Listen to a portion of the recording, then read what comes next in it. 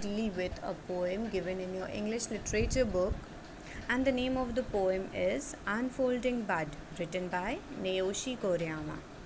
Children, Naoshi Koriyama is a Japanese poet who studied English literature in the United States and returned to teach in Japan. He began to write poems while he was away from home and went on to publish nine collections in English, besides three translated from Japanese. He has recently published a collection entirely in Jap- Japanese. So, in this poem, the poet is trying to compare the flowering of a water lily to the process of understanding a poem. We'll know about the poem in a short summary so that it will become easy for you to understand while explaining the poem stanza wise. So, in this poem, The Unfolding Bud, the poet wants to convey that we can understand a poem by reading it over and over again. And this he explains with a very beautiful comparison. He is comparing the process of understanding of the poem with the process of unfolding or the blooming of a water lily flower. The poet says, We are mesmerized when we see a water lily unfolding itself. The first bud may not get our attention, but we are filled with wonder when we see it opening and changing its color and size with each passing day.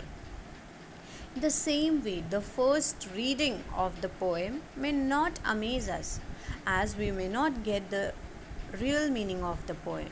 We will only get the surface meaning of the poem when we read it for the first time. The poet compares the first reading of the uh, of the poem to a tightly closed bud.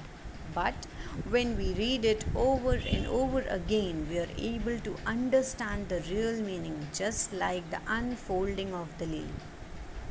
Just like we are not able to see much in a tightly closed bud, when we see growing it, when we see opening it, when we see its petals spreading the color, expressing its it more brightly, the inner part unfolding, and we get to see more details of the bud.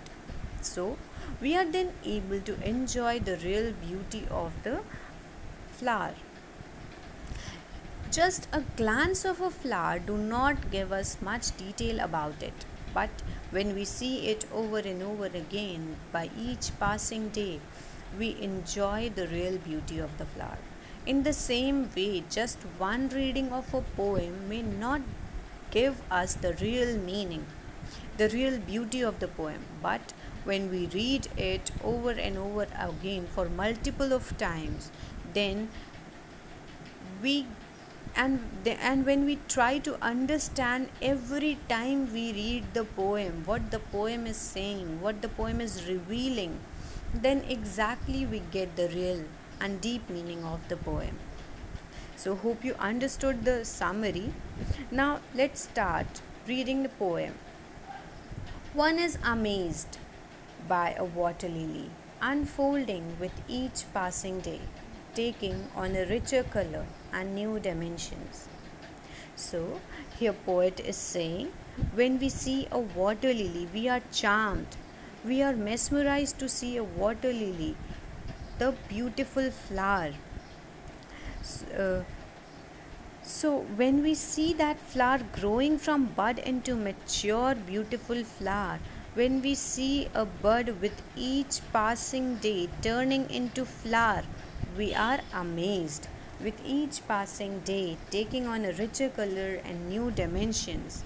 And when we watch it each passing day, we see it changing its color. Earlier it appeared lighter, but when it grows, when the petals open, they appear more bright, and the size also becomes for a small bud into a big grown up flower. So we are beautifully amazed when we see a water lily unfolding with each passing day.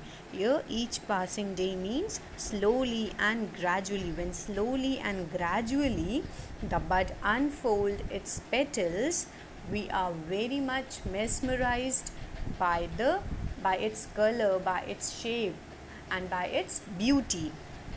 In the second stanza, poet says, One is not amazed at a first glance by a poem, which is as tight closed as a tiny bud.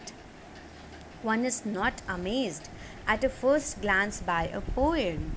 The poet says, We are not amazed, we are not charmed at the first glance, at the first glance means a short look at the first reading of the poem we are when we are when we read a poem for the first time it is it seems very uninteresting to us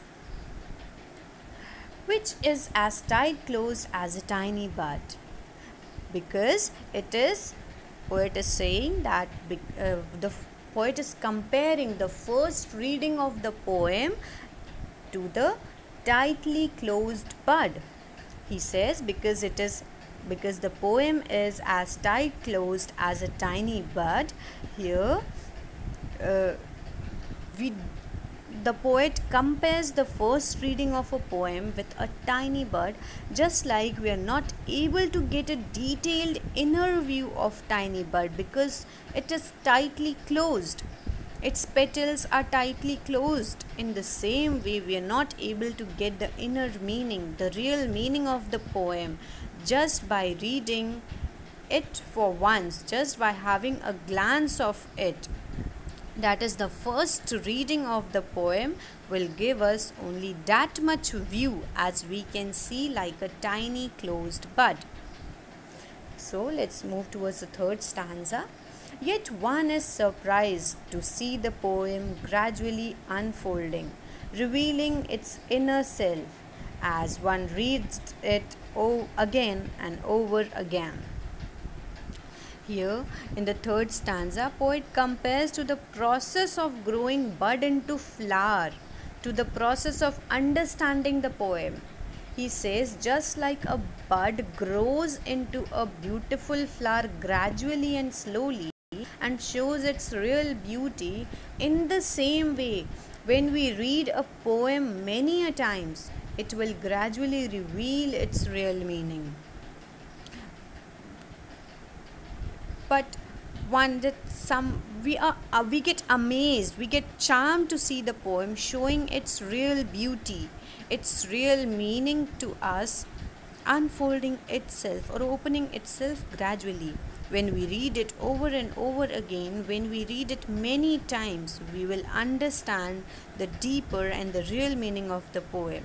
We'll be amazed, we'll be mesmerized and charmed with the real beauty of the poem.